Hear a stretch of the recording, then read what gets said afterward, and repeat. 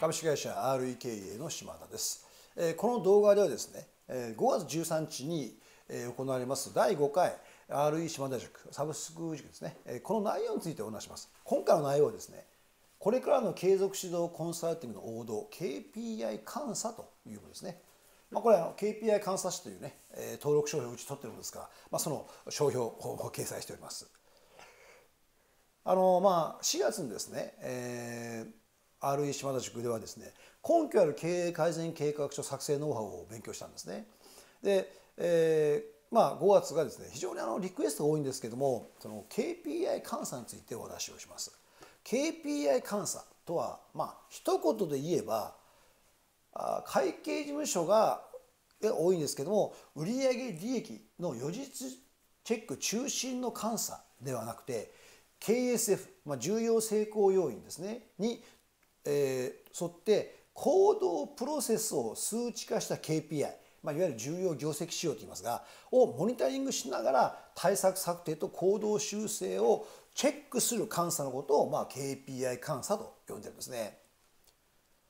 まあ、この先やクライアントのねその KPI 重要業績指標が分かれば会議のチェックの在り方も大きく変わってくるんですね。しかも内容に深く介入していくのでつぶさにその企業の実態が見えてきて各種の決定事項まで関与できる。まさに経営顧問そのものと。予実チェックだと例えば売上と利益だけのチェックだと結局行った行かないんで終わり。そして行かない理由は人がいないの。あのね外部環境が悪いのってってそれでもう表面的な話で終わるじゃないですか。KPI 監査っていうのは絞り込んでますから表面的な話で終わらないんですね。だから税務顧問から、ね、税務顧問だけじゃなくて経営顧問にランクアップするにはこの KPI 監査というのは必須ですね。で、えー、ここではですね、まあ、5月13日に話すその RE 島田塾の、ね、内容一部ちょっとご紹介していきたいと思います。まあ KPI 監査室のうちの登録商標ということをちょっと書いてますね。まずね大事なのは KPI 監査の極意はですね KSF、まあ、キーサクセスファクター重要成功要因と言いますがで売上の公式利益の公式を決めることということですね。あの BSC バランススコアカードという、まあ、あ戦略メソッドがあるんですけどもではこの4つの視点というのがあって、まあ、顧客の視点財務の視点業務プロセスの視点学習と成長の視点まあいうことから KSF というのを設定するこれはちょっと難しいね、えー、でちょっと分かりにくい方はこれスルーしてもらって結構です。でアプローチとしましては企業固有のまあクロスソート分析をやってから KSF を作りそこから KPI に持っていくというやり方ともう一個は業界固有の業績の公式というのがあるんですねそこから KSF KPI を持っていくこの2つの流れがあのあるわけです。まあ、あるというかこういう流れを我々は長いこと作ってきたんですね。ここではですね、えー、業績の公式というアプローチからちょっと入っていく方法を少しお見せします。本質は変わらないんですけども以前から私は中小零細企業の分かりやすいようにその企業の売上の公式利益の公式と呼んだ KSF を設定していたわけなんですね。まあ、売上の公式というのはある商品やある顧客で売上を上げるにはどんなキーサクセスファクター重要成功要因ですが必要でそれにどんな KPI 重要業績評価指標があればいいかを検討していくことですね。まあちょっと分かりやすい端的な例一般的に小売業の売上高っていうのは客数かける単価という公式が一般的に言われてますね。でそれを分解していきます KPI では。例えば客単価というのは何で決まるか、まあ、例えば商品別販売個数かける単価とかね、まあ、いうふうに決めましょう。客数というのはどうやって決まるか来店客数かける買い上げ率で決まってくる。ではこの来店数来まあちょっと、えー、商品別顧客単価があるんだけどちょっと置いといて下側ね。来店者数はどうやって決まるのか例えばチラシの枚数ポストインの枚数 DM 発送数キャンペーンの案内のリスト数、まあ、そういう、ものを掛け算で例えば来店者数が決まる。では次お買い上げ率買い上げ率というのは良い接客かける反則ポップかける目玉商品かけるお値頃感かける特典、まあ、みたいなものが例えば、えー、買い上げ率に影響しますと。この辺りが KPI になってくるんですね。これを数値化していくのがね。でこの数値目標とリンクした行動プロセスをしっかりモニタリングすることでより実現性が高まる。だから例えばあ来店客数を上げるためのこの内容を細かくしていったら当然来店客数が上がるから。来店客数が上がればあで買い上げ率も上がれば当然客数が増えるので売り上げっていうのはあ上がりますよね、まあ、そういうふうなイメージです。利益も同じですね。えー、そのある企業の粗利益を上げる方式というのを例えば分解します。まあ、例えば原材料率を減らせば粗利益率が上がる。だったらば、まあ、無駄資材の撲滅例えば端材をどう出していくかもしくは部材の使用を統一使用を統一することで原価率が下がります。それから相見積もりで、えー、少しでも安いところを使う。まあちょっと今はねこのインフレっていうか原材料高の中でこれは非常に使いにくくなってます。あと労務費の低減では部署別残業時間というのをこう平準化していくとかですね賞味作業時間数を増やすとか多能工スキル、ね、多能工のスキルマップを増やすことによって、えー、平均残業時間が減る、まあ、これは労務費の削減になってくるんですね。外注費の削減も例えば内削率を増やしていくとか外注先で指導する外注先を指導することによって外注作業時間を減らすとかあと外注からの作業効率外注さんから提案をもらうとかね、まあ、こんなことが掛け算されて外注費が減っていくまあ、こういうその会社独自の利益の行使っていうのがあると思うんですね。まあこの原価率が今非常に上がってますからそのよりその小さな改善を求められますよね。まああのあるいは島田塾ではですねその印刷飲食業印刷業福祉施設自動車ディーラー食品メーカーの営業のね KPI 設定を今回公開しております。2番目行動プロセスを数値化すると人事評価までつながりますよと、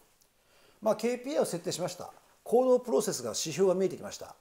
で行動プロセスをしっかりやれば結果につながりやすくなるというわけですから、えー、おのずとその行動をしっかりやることがいわゆる人事評価目標設定に直結していきやすいわけですね。まあ個人や部門長の目標設定が実績にリンクしてない中小企業が必要多いんですもんですからこの KPI から行動プロセスを取ってないからそうなってくるんですだから KPI からあの個人目標とか部門目標を取っていけば非常に目標設定とか人事評価しやすくなっているんですね。まあ取ってつけたような個人目標とか部門目標これをモニ,、ね、モニタリングしたところで正直リアルな実績評価はつながらない。だからあの、まあ、我々は KPI で賞与を評価するみたいなものをしてるんですね。まあ、例えばこれなんかはちょっと詳しいやつはね、えー、島田塾の方でお見せしますけどもある食品メーカーの、えー、人事 KPI を中心とした人事評価賞与用の評価項目ですね。まあもうここに K, K あの目標設定があるんです目標とか結果ね、えー、から効果ポイント各点数があって各点数の中身に何が何パーセントいった何が何ポイントいったらば2点ですよ1点ですよという点数がもう決まってくるわけですね。もうこれ全部実はほとんど数字が入ってるんですね。で簡単に言うと正しい行動をしてる正しい数字に基づいた行動してるんだから成績が上がるよねって、まあ、ここにはですね返事がいいとか報告するとか挨拶がいいとか協調性があるってことは一切入ってないんです。それはまた別のところで評価しましょうって。ね。あくまでも実績評価できますよという。で KPI だから売上がいった利益がいったじゃないんです。KPI で評価してるんですね。その売上の結果とか利益の結果で言っちゃうとこれは KGI キーゴールインジケーターといってね、えー、最終目標で言っちゃうんだけどこれはプロセス目標を数値化してるやつって言ってるわけですね。まあ、これ、えー、塾の方では詳しくねご紹介していきます。3番目この KPI 設定はね相手任せにしないと何かって言えばえー、一番失敗するのは KPI を作る時にフレームだけ用意して「はい書いてください」って相手に任せることこれうまくいきません。ね、大体多くの中小零細企業では経営者幹部任せるとね抽象的な表現とか安易なレベル設定になってきます。だからねあの KPI 書いてくださった本をね月に5冊読むとかねだから何なんだって言いたいわけですね。まあ、そんなあの KPI を設定してるところがあるわけです実際問題ね。で我々が行う場合はフレームを用意してそれをモニターに移して相手に意見をね、えー、言ってもらいながらその見せながらあパソコンに書き込み入力していくということですね。でヒアリングでは、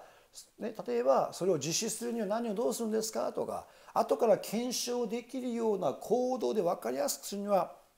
どうしますかとかその行動プロセスを数値に置き換えたら何をどれだけ行うべきか、ね、ちょっとコード内容を 5W2 で言ってください、まあ、みたいなことを一つ一つ確認しながらパソコンに入力していく。まあ、当然その入力状況を相手は見てるわけですからあ、ね、幹部経営者がねだから意見も出てきます。でまあねこういうね一つサンプルを作ったらば、まあ、それを、えー、まずあある部門を作りますコンサルタント主導で。そしたら他の部門はあのちょっとこれを参考に作ってみてって言ってやってもいいんですよ。一つねベーシックベースなものをねコンサルタントが中心に作っていこうとあとはそれを出させて、えー、ててこちら添削して、えー、また再提出させるという繰り返していけば結構できます。この添削という作業はむちゃくちゃ大事なコンサルティブなんですね、まあ、こうやってね徐々に徐々に、えー、粛々とですね KPI が設定されていくんです。あの RE 島田塾ですねコンサルタント技術を学ぶサブスク塾ですが、えー、6月から募集を再開いたします。またあのご案内がねホームページとかあのブログとかメルマガの方でもねされますんで、えー、途中からでも参加大丈夫です。で、えー、最初にですねプロローグ動画としてこの島田塾のこの、えー、プログラムのね細かい説明がいっぺんあった上あ説明が無料で提供されますから。だからあ例えば7月から入ろうが8月から入ろうがいつから入っても構いません。まあ、プログラムとしてこんなことでね各種ごとに行っております。